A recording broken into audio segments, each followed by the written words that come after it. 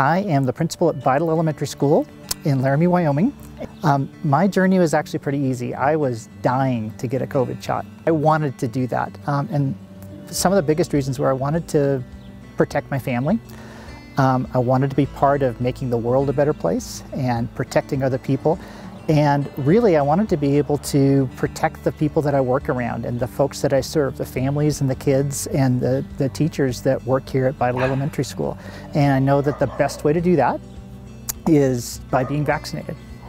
You know, my only hesitancy was I, I kept hearing stories that people were getting sick, but I knew it was short term. And yeah, that happened to me too. I had one really long day.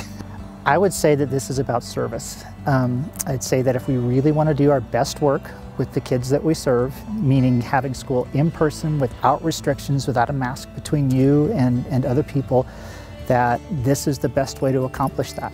And um, you know, we've done school for the last year really well, um, but we know we haven't done everything that we know how to do to make school work in the best way that it does.